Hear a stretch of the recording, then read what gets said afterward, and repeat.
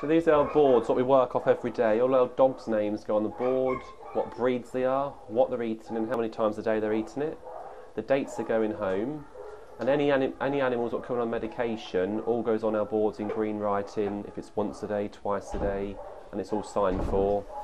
Ears, eyes being cleaned, uh, insulin injections, tablets, etc., etc.